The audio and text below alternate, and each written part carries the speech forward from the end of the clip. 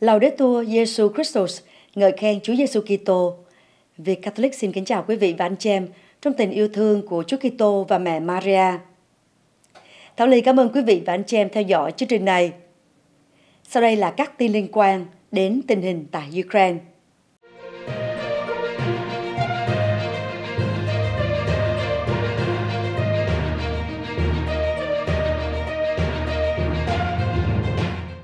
Ngoại trưởng Ukraine trấn an Đức rằng bất kỳ hỏa tiễn hành trình Toru nào cung cấp cho Kyiv sẽ chỉ được sử dụng trong biên giới Ukraine. Kyiv đã yêu cầu các đồng minh phương Tây cung cấp hỏa tiễn hành trình Toru, là loại hỏa tiễn có tầm bắn hơn 500 km được phóng từ các chiến đấu cơ như Tornado, F-15 và F-18. Các quốc gia như Đức đã chung bước trước yêu cầu, lo sợ về tầm xa của vũ khí. Hôm nay, Dmytro Kuleba, Ngoại trưởng Ukraine, tuyên bố rằng bất kỳ hỏa tiễn hành trình Toru nào cung cấp cho Kyiv sẽ chỉ được sử dụng trong biên giới Ukraine. Hỏa tiễn tầm xa đã tỏ ra rất quan trọng. Đây là lý do tại sao Toru và ATACMS rất cần thiết cho sự thành công của Ukraine, và chúng tôi yêu cầu các đối tác cung cấp chúng càng sớm càng tốt. Cả hai sẽ chỉ được sử dụng bên trong biên giới của chúng tôi. Tầm bắn hỏa tiễn càng dài, chiến tranh càng ngắn, Bộ trưởng Ngoại giao Ukraine Dmytro Kuleba nói. Đức đang thảo luận về việc cung cấp hỏa tiễn hành trình Toru cho Ukraine, Reuters đưa tin. Berlin đã bày tỏ sự miễn cưỡng vì tầm bắn xa của loại vũ khí này và khả năng sử dụng nó đối với các mục tiêu bên trong nước Nga. Phát ngôn nhân của chính phủ Đức cho biết Berlin không có thông tin cập nhật về quan điểm của mình, nhưng một nguồn tin an ninh nói với Reuters rằng Đức đang đàm phán với nhà sản xuất MBDA về việc cung cấp hỏa tiễn cho Ukraine.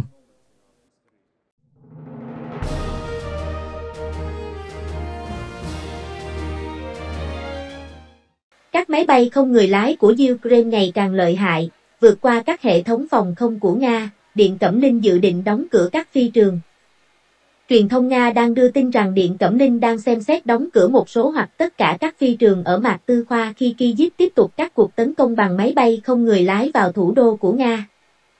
AIA Novoti cho biết Điện Cẩm Ninh đang nghĩ đến việc đóng cửa một số hoặc thậm chí tất cả các phi trường ở Mạc Tư Khoa trong vài tuần, và có thể thời gian kéo dài sau đó do mối đe dọa khủng bố bằng máy bay không người lái, và trong ngắn hạn, có khả năng bị tấn công bằng hỏa tiễn tầm xa từ vùng Sumy, Ukraine. Được biết, vấn đề này dường như đang rất nhức nhối đối với phủ tổng thống, FSB, và chính phủ Nga. Nó có ảnh hưởng không lường trước đến tâm trạng của công chúng, gây ra tổn thất về uy tín của lực lượng phòng không đang hoạt động, và gây tổn thất tài chính là mối quan tâm hàng đầu của chế độ. Bộ Quốc phòng Nga coi việc đóng cửa bầu trời dân sự là một sự kiện khó chịu, nhưng không phải là thảm họa theo logic chiến tranh. Bộ Quốc phòng tin rằng việc đóng cửa các phi trường sẽ làm gia tăng tình cảm yêu nước và yêu cầu tăng cường leo thang quân sự.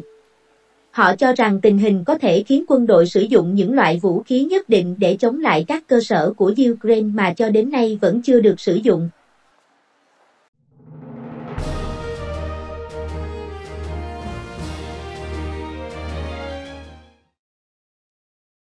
Người dẫn chương trình truyền hình Nga nổi giận vì đồng rút sụp đổ Tờ Newsweek có bài tường trình nhan đề Russian TV hosts films over Rumble collapse. They are laughing at US abroad. Nghĩa là người dẫn chương trình truyền hình Nga nổi giận vì đồng rút sụp đổ. Họ đang cười nhạo chúng ta ở nước ngoài.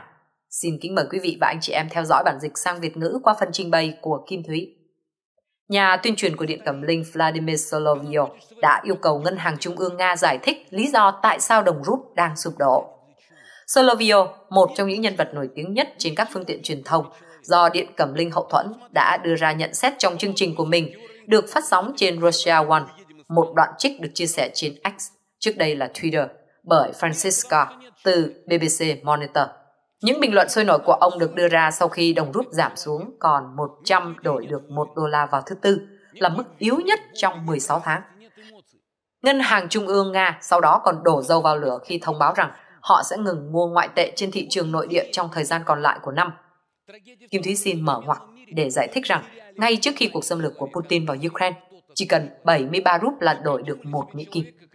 Khi các lệnh trừng phạt được tung ra, dân Nga hốt hoảng mua ngoại tệ khiến 120 rúp mới đổi được một Mỹ Kim. Sau cơn sốt này, Ngân hàng Trung ương Nga đã thực hiện nhiều biện pháp để 80 rúp đổi được một Mỹ Kim. Mới nhất, 100 rúp mới đổi được một Mỹ Kim. Ngân hàng Trung ương chết tiệt đã gây báo động cho cả nước và thậm chí còn không giải thích được tại sao tỷ giá hối đoái của đồng rúp lại tăng cao đến mức người ta đang cười nhạo chúng ta ở nước ngoài. Đồng rúp của chúng ta là một trong ba đồng tiền yếu nhất trên thế giới. Solovio, một đồng minh của Tổng thống Nga Vladimir Putin cho biết, cảm ơn chính sách thiên tài của Ngân hàng Trung ương đã coi thường người dân đến mức thậm chí không nói một lời nào với họ về những gì nó đang làm. Ông nói thêm, đồng tiền của Nga đã sụp giảm trong bối cảnh Liên minh Âu Châu, Hoa Kỳ và các đồng minh phương Tây khác áp đặt các lệnh trừng phạt nhằm đáp trả cuộc xâm lược Ukraine của Putin vào tháng 2 năm 2022. Nga đã bị loại khỏi hệ thống ngân hàng toàn cầu SWIFT, trong khi các quốc gia phương Tây chặn Nga tiếp cận một số nguồn dự trữ ngoại hối của nước này. Âu Châu cũng ngừng mua dầu và khí đốt của Nga. Và vào tháng 12 năm 2022, G7 đã đồng ý về mức giá trần đối với các sản phẩm dầu thô và tinh chế của Nga, gây thêm căng thẳng cho đồng rút. Trung tâm Wilson, một tổ chức tư vấn có trụ sở tại Hoa Kỳ, cho biết con đường phục hồi kinh tế của Nga đã trở nên khó khăn hơn đáng kể bởi luận điệu chống phương Tây và chủ nghĩa biệt lập của nước này. Newsweek đã liên hệ với Bộ Ngoại giao Nga qua email để xin bình luận. Vào ngày 6 tháng 7, Anatoly Asako, một thành viên của Hạ viện Nga, Duma quốc gia, nói rằng sự sụp đổ tạm thời của đồng rút vào ngày 26 tháng 6, một phần là do nhu cầu bơm tiền vào các vùng của Ukraine đã bị Putin sắp nhập vào một thu năm ngoái. Ông cho biết giá dầu của Nga ảnh hưởng đến tỷ giá hối đoái của đồng rút, nhưng chi phí chi tiêu ở các vùng lãnh thổ mới cũng đóng một vai trò nào đó hãng thông tấn nhà nước Nga Interfax đưa tin. Ông đang đề cập đến bốn khu vực bị Nga sắp nhập vào Ukraine, Donetsk và Luhansk, Kherson và Zaporizhia. Nga không hoàn toàn kiểm soát bất kỳ khu vực nào trong bốn khu vực và các chính phủ nước ngoài, bao gồm cả Hoa Kỳ, cho biết động thái sắp nhập này là hoàn toàn bất hợp pháp.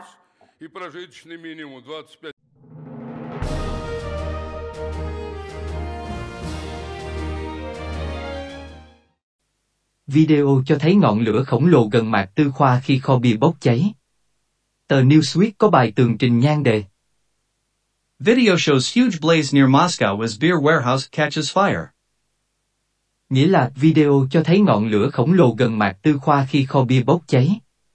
Xin kính mời quý vị và anh chị em theo dõi bản dịch sang Việt ngữ.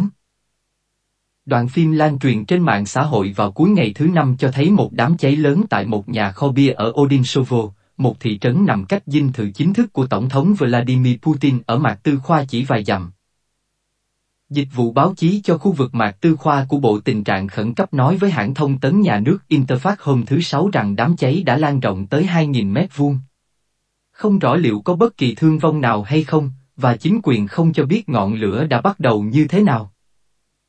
Vụ việc xảy ra sau một số vụ tấn công bằng máy bay không người lái gần đây vào thủ đô của Nga mà Kyiv không nhận trách nhiệm, phù hợp với chính sách tránh xa các cuộc tấn công trên đất Nga. Mạc Tư Khoa đã báo cáo hai cuộc tấn công bằng máy bay không người lái của Ukraine gần thủ đô trong tuần này, nói rằng chúng đã bị bắn hạ bởi các hệ thống phòng không. Vụ cháy cũng xảy ra vài ngày sau khi một vụ nổ lớn được báo cáo tại một cơ sở liên kết với quân đội ở Sergi Posad, một thành phố gần Mạc Tư Khoa, gây ra một cột khói khổng lồ giống như cây nấm bốc lên bầu trời. Chính quyền địa phương cho biết ít nhất một người chết và khoảng 60 người bị thương trong vụ nổ ngày 9 tháng 8. Newsweek đã liên hệ với Bộ Ngoại giao Nga qua email để xin bình luận. Putin có một dinh thự tại Novogarivo, gần Odinsovo, một trong số những ngôi nhà mà ông được cho là có ở khắp nước Nga. Truyền thông Nga đưa tin khói từ vụ cháy nhà kho hôm thứ Năm có thể nhìn thấy được cách xa vài km. Hình ảnh và video về vụ cháy cho thấy một cột khói đen dày đặc khổng lồ bốc lên bầu trời. Kênh Telegram của Nga Baza đưa tin vụ hỏa hoạn xảy ra tại một nhà kho bia trên phố Zelenay, trong khi kênh Max cho biết theo thông tin sơ bộ, một công trường xây dựng đã bốc cháy trong khu dân cư. Cơ quan truyền thông địa phương MSK1 báo cáo rằng dữ liệu từ bản đồ Yandex chỉ ra rằng các tòa nhà tại địa chỉ nơi ngọn lửa bùng phát bao gồm kho của hai công ty hậu cần, cũng như kho của một công ty liên quan đến ngành bia. Kênh Telegram Shop báo cáo rằng cư dân địa phương đã nghe thấy âm thanh của vụ nổ trước khi xảy ra hỏa hoạn. Newsweek không thể xác minh ngay những tuyên bố này. Một cuộc tấn công bằng máy bay không người lái vào Mạc Tư Khoa vào ngày 30 tháng 5 đánh dấu lần đầu tiên thủ đô bị tấn công bằng máy bay không người lái quy mô lớn kể từ khi chiến tranh bắt đầu vào tháng 2 năm 2022. Andriy Yusov, phát ngôn nhân của tình báo quân đội Ukraine, nói với tờ Kyiv Post vào tháng trước rằng các cuộc tấn công bằng máy bay không người lái gần đây vào Mạc Tư Khoa chứng tỏ rằng Putin không thể kiểm soát bầu trời. Ông cho biết tình trạng này sẽ tiếp tục và gia tăng về quy mô. Yusov cho biết các cuộc tấn công vào các cơ sở an ninh quan trọng của Nga ở Mạc Tư Khoa vào tháng 7 chứng tỏ thực tế rằng chế độ Putin không thể kiểm soát hoàn toàn bầu trời ngay cả khi bảo vệ các cơ sở quan trọng nhất. Versa, một tổ chức tin tức được thành lập ngay sau khi cuộc xung đột bắt đầu, đã đưa tin trong tuần này rằng số vụ nổ ở Nga đã tăng gấp 4 lần vào năm 2022, năm mà Putin phát động một cuộc xâm lược toàn diện vào Ukraine.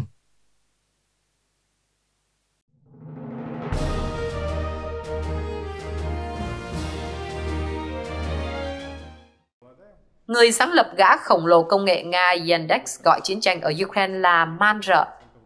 Người sáng lập và cựu giám đốc điều hành của công ty Internet lớn nhất Nga, Arkady Volov, đã chỉ trích cuộc xâm lược Ukraine man rợ của Tổng thống Vladimir Putin.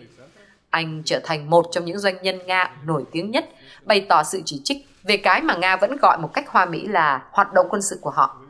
Tôi đã được học hỏi rất nhiều câu hỏi trong năm qua và đặc biệt là rất nhiều trong số đó đã xuất hiện trong tuần này.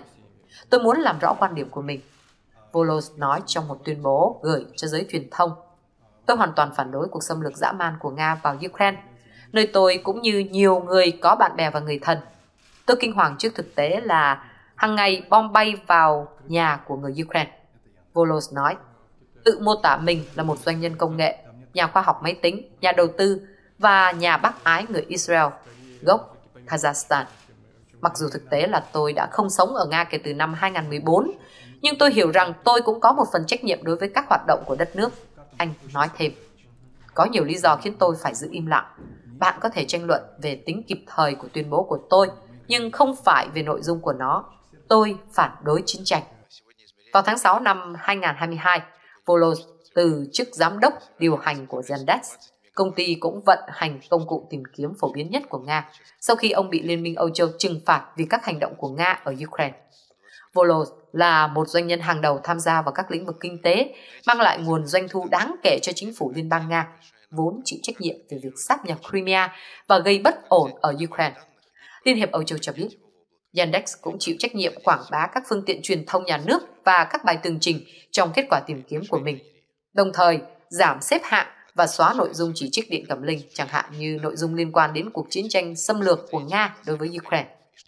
Trong tuyên bố của mình, Volo cho biết sau khi chuyển đến Israel vào năm 2014, ông đã làm việc để phát triển các dự án quốc tế của Yandex.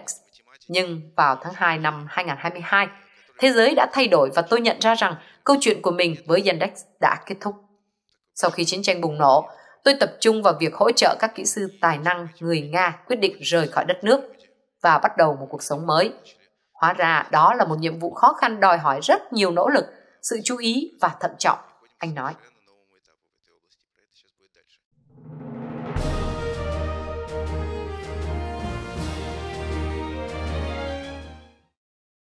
Hải quân Ukraine cho biết một hành lang nhân đạo tạm thời mới ở Hắc Hải đã bắt đầu hoạt động vào thứ Năm và những con tàu đầu tiên dự kiến sẽ sử dụng hành lang này trong vài ngày tới, Reuters đưa tin.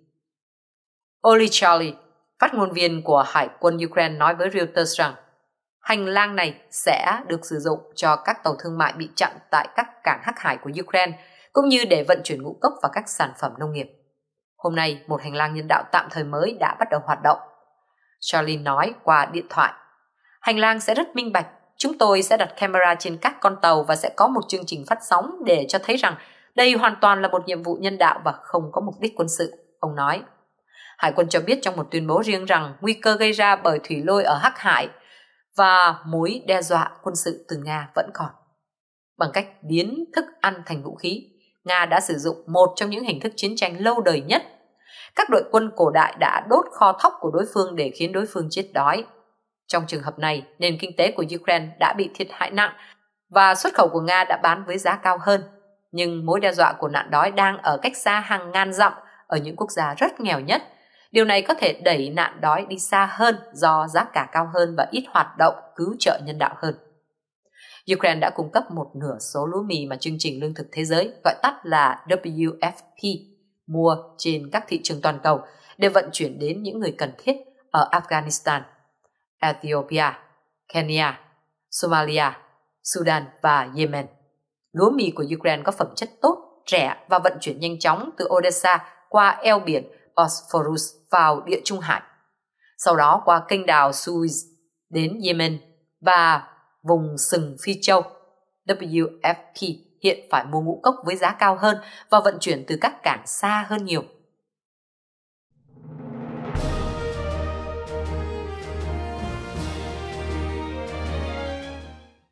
Kyiv tuyên bố Mạc Tư Khoa có thể sẽ bị tấn công nhiều hơn.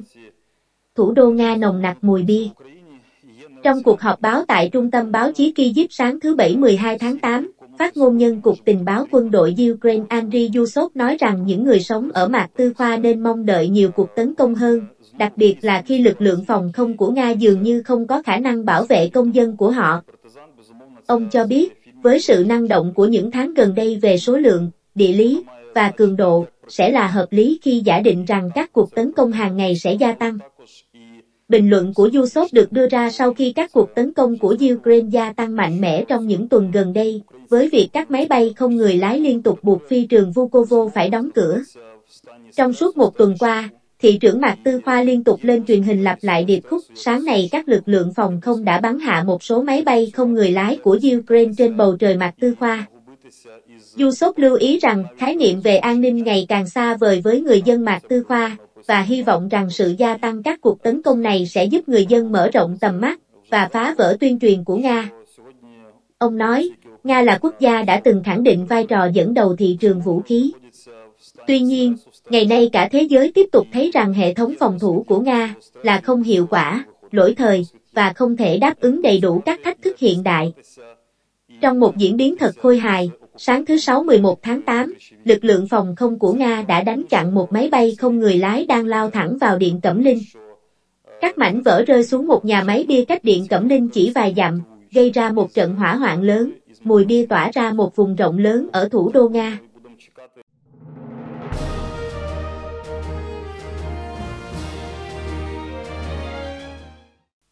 Đồng tiền ăn liền khúc ruột, nhà độc tại Belarus Alexander Lukashenko đưa ra một diễn văn trầm buồn, đấu dịu với Liên hiệp Âu Châu trước khả năng bị tịch thu hàng tỷ Mỹ Kim. Tổng thống Belarus, một quốc gia là đồng minh trung thành của Nga trong cuộc xâm lược Ukraine, cho biết ông mong muốn duy trì quan hệ với các nước Liên hiệp Âu Châu, hãng thông tấn nhà nước Nga AIA Novosti đưa tin. Bây giờ chúng ta sống chủ yếu nhờ vào phía đông Nga, Trung Quốc. Nhưng chúng ta không được quên phương Tây công nghệ cao, Alexander Lukashenko nói. Họ ở gần đây, họ là hàng xóm của chúng ta, Liên minh Âu Châu, và chúng ta không thể đánh mất quan hệ với họ.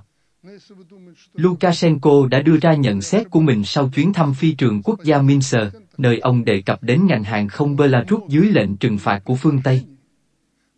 Một số quốc gia phương Tây, bao gồm các thành viên Liên hiệp Âu Châu, đã ban hành các biện pháp trừng phạt đối với các quan chức, doanh nghiệp và ngành công nghiệp Belarus để đáp trả việc Minsk ủng hộ Nga xâm lược Ukraine. Trong cuộc leo thang căng thẳng đang diễn ra ở biên giới với Ba Lan, nhà độc tại Belarus Alexander Lukashenko có thể mất một số tiền lớn lên đến hàng tỷ Mỹ Kim.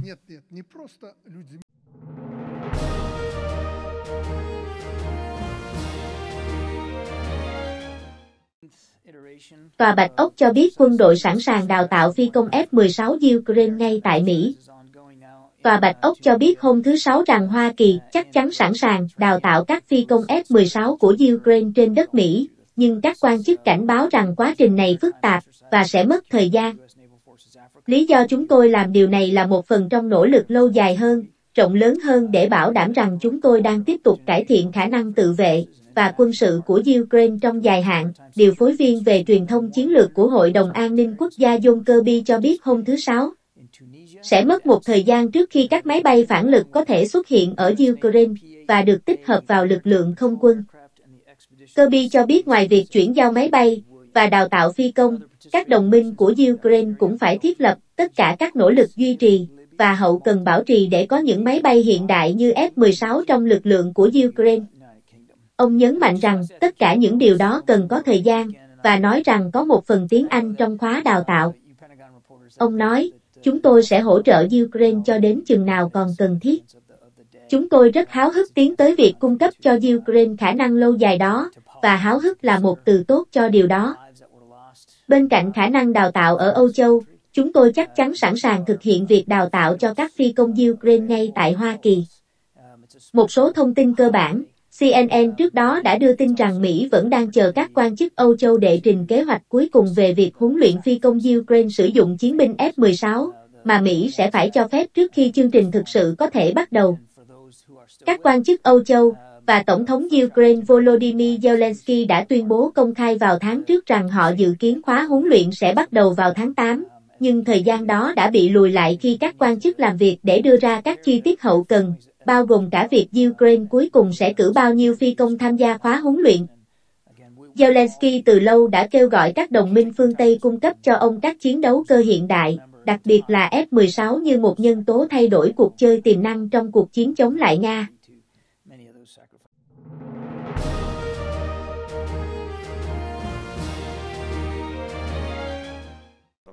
Phát ngôn nhân không quân nói Nga tấn công phi trường Ukraine bằng hỏa tiễn kinh dồ tiên tiến. Trong cuộc họp báo tại Trung tâm báo chí Kyiv hôm thứ Bảy 12 tháng 8, phát ngôn nhân của lực lượng không quân Ukraine, Đại tá Yuri Ina, cho biết Nga đã phóng hỏa tiễn kinh dồ tiên tiến vào các phi công Ukraine, những người sẽ sớm tham gia khóa huấn luyện trên chiến đấu cơ F-16 do Mỹ sản xuất. Ông cho biết một trong bốn hỏa tiễn của Nga, còn được gọi là cây hết 47, đã bị bắn hạ. Ba hỏa tiễn khác đã tấn công gần các phi trường quân sự của Ukraine, vốn là mục tiêu của Nga trong vài tháng qua.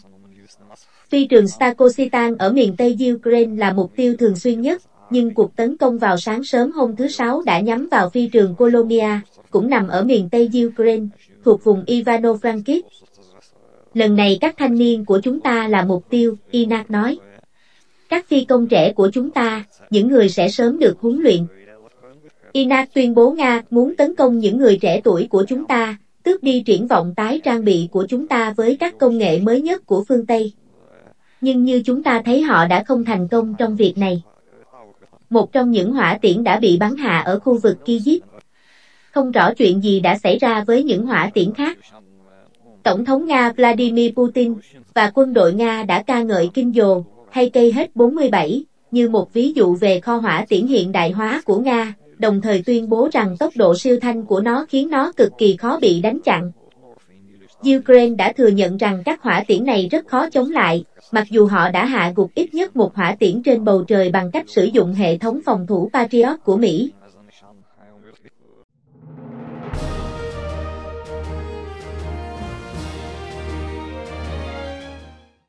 Thỏa thuận của Putin với người sáng lập tập đoàn Wagner có thể đã sụp đổ. Tờ Newsweek có bài tường trình nhan đề. Putin's deal with Wagner Group founder may have collapsed, ISW. Nghĩa là Viện Nghiên cứu Chiến tranh Hoa Kỳ cho rằng thỏa thuận của Putin với người sáng lập tập đoàn Wagner có thể đã sụp đổ. Xin kính mời quý vị và anh chị em theo dõi bản dịch sang Việt ngữ. Theo Viện Nghiên cứu Chiến tranh Hoa Kỳ, gọi tắt là ISW, thỏa thuận của Tổng thống Nga Vladimir Putin với người sáng lập tập đoàn Wagner, Yevgeny Prigozhin, có thể đã đổ vỡ. Trong khi cuộc chiến của Nga với Ukraine tiếp tục diễn ra ác liệt vào cuối tháng 6, Prigozhin và đội quân đánh thuê của ông đã hành quân đến Mạc Tư Khoa như một phần của cuộc nổi dậy vũ trang ngắn chống lại quân đội Nga. Cuộc binh biến kết thúc sau một ngày, với việc Tổng thống Belarus Alexander Lukashenko được cho là đã môi giới cho một thỏa thuận hòa bình yêu cầu lực lượng Wagner phải chuyển đến Belarus. ISW, một tổ chức tư vấn có trụ sở tại Hoa Kỳ, cho biết trong một đánh giá được công bố hôm thứ Tư rằng các báo cáo, nội gián của Nga cho thấy lực lượng Wagner đã bắt đầu rút khỏi Belarus và đang quay trở lại Nga. Cuộc sống lưu vong của Prigozhin dường như cũng chỉ tồn tại trong thời gian ngắn, với việc nhà lãnh đạo này được chụp ảnh khi tham dự hội nghị thượng đỉnh Nga Phi Châu ở St. Petersburg vào cuối tháng 7. Những suy đoán về việc tập đoàn Wagner rút khỏi Belarus cho thấy các khía cạnh của thỏa thuận giữa Putin, và Prigozhin sau cuộc nổi dậy vũ trang của Wagner vào ngày 24 tháng 6 đã đổ vỡ, báo cáo của ISW nêu rõ. Khả năng sụp đổ của các khía cạnh trong thỏa thuận Wagner-Putin-Lukashenko cho thấy rằng Putin đã thất bại trong việc giải quyết dứt khoát các vấn đề do Prigozhin và Wagner đặt ra sau cuộc nổi loạn ngày 24 tháng 6 của Wagner, bài viết nhận định. Không rõ liệu khả năng tập đoàn Wagner rời khỏi Belarus có thể liên quan đến nỗ lực của tổ chức nhằm tận dụng tình trạng bất ổn ở Phi Châu, đặc biệt là cuộc đảo chính quân sự ngày 27 tháng 7 ở Niger hay không? ISW cũng nói rằng Putin có thể vẫn lo ngại về mối đe dọa mà Prigozhin gây ra cho các mục tiêu dài hạn của mình khi ông tiếp tục tập trung vào việc dứt khoát tách Prigozhin khỏi Wagner. Tổ chức tư vấn đưa ra giả thuyết rằng Putin có thể đã tạo điều kiện thuận lợi cho tập đoàn Wagner quay trở lại Nga, để ông có thể dễ dàng tạo điều kiện thuận lợi hơn cho việc tập đoàn này phụ thuộc vào Bộ Quốc phòng Nga hoặc giải tán tổ chức hoàn toàn. Newsweek đã yêu cầu Bộ Quốc phòng Nga bình luận qua email vào tối thứ Tư. Markat, giáo sư tại trường chính sách và chính phủ xa của Đại học George Mason, nói với Newsweek vào tháng trước rằng sự xuất hiện trước công chúng của Prigozhin tại hội nghị thượng đỉnh St. Petersburg có thể là một nỗ lực của Putin nhằm điều chỉnh lại tường thuật về âm mưu nổi loạn của Wagner chống lại Mạc Tư Khoa. Đây cũng có thể là một phần của chủ đề lớn hơn mà tôi tin rằng Mạc Tư Khoa đang cố gắng phát triển. Cuộc nổi loạn của Wagner không phải là một âm mưu đảo chính chống lại Putin rằng bất cứ điều gì xảy ra đều đã bị phương Tây phóng đại, rằng Putin và Prigozhin đang hợp tác với nhau. Các nói, Bộ Quốc phòng Anh cho biết trong một bản cập nhật tình báo vào đầu tuần này rằng Putin đã bắt đầu trang bị cho lực lượng bảo vệ quân đội cá nhân của mình, còn được gọi là Rosvadia, với vũ khí hạng nặng sau vụ binh biến ngắn ngủi của Wagner.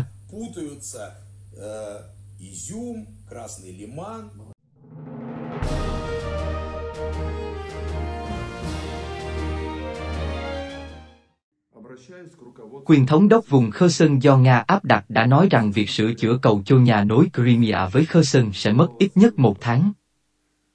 Interfax ở Nga trích lời Vladimir Sando, tên phản bội, nói trên kênh truyền hình Russia 24, thời gian phục hồi ước tính ít nhất là một tháng, hoặc thậm chí lên đến hai tháng, công việc sẽ tiếp tục.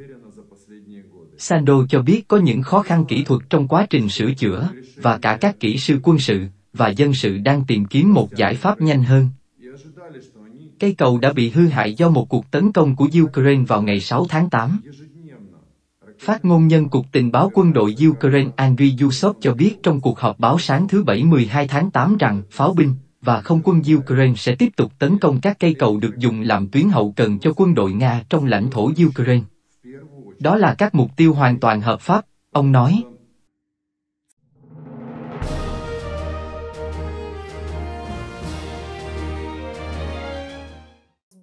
Vụ tấn công khách sạn Zaporizhia khiến một người thiệt mạng và ít nhất 16 người bị thương, các quan chức cho biết. Trong cuộc họp báo tại Trung tâm báo chí Kyiv sáng thứ Sáu 11 tháng 8, phát ngôn nhân cảnh sát quốc gia Ukraine, đại úy Aliona Leoniska cho biết, tại thành phố miền nam Zaporizhia, hai nữ nhạc sĩ trẻ tên là Kristina Spesina, 19 tuổi, và Svetlana Semekina, 21 tuổi, cùng một người đàn ông đã thiệt mạng trong một cuộc tấn công bằng hỏa tiễn trong đêm nhằm vào một nhà thờ. Số người bị thương trong vụ tấn công khách sạn Zaporizhia đã tăng lên ít nhất 16 người, trong đó có 4 trẻ em. Trong số những đứa trẻ bị thương có một bé gái 3 tuổi. Cháu bé hiện đang nằm viện dưới sự giám sát của bác sĩ và cha mẹ. Tình trạng của đứa bé không nghiêm trọng. Chúng tôi cầu nguyện cho sự phục hồi nhanh chóng của cháu bé, cô nói.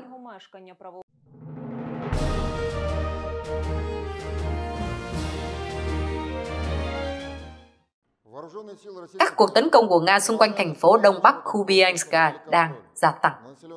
Bộ Quốc phòng Nga tuyên bố lực lượng của họ đã chiếm được các vị trí và điểm quan sát của Ukraine xung quanh làng Vilsana, phía đông bắc Kubianska thuộc vùng Kharkiv. Họ nói rằng các nhóm tấn công của tập đoàn quân hỗn hợp số 6 đã đánh bại tới một đội bộ binh trong khu vực, nơi các lực lượng Nga đã cố gắng chiếm lấy trong vài tuần. Bộ Quốc phòng cho biết các cuộc phản công của Ukraine đã bị đẩy lui. Họ cũng tuyên bố rằng một cuộc tấn công của Ukraine xa hơn về phía nam ở Novoseliske đã bị cản trở và các vị trí súng cối và các thiết bị khác của Ukraine đã bị phá hủy. CNN không thể xác nhận phần lớn các báo cáo chiến trường từ phía Nga. Kubienska bị Nga chiếm trong giai đoạn đầu của cuộc xâm lược nhưng đã được giải phóng vào tháng 9 năm ngoái. Vào tháng 7, một quan chức Ukraine cho biết Nga đã tập trung hàng trăm nghìn binh sĩ và hàng trăm xe tăng trong khu vực.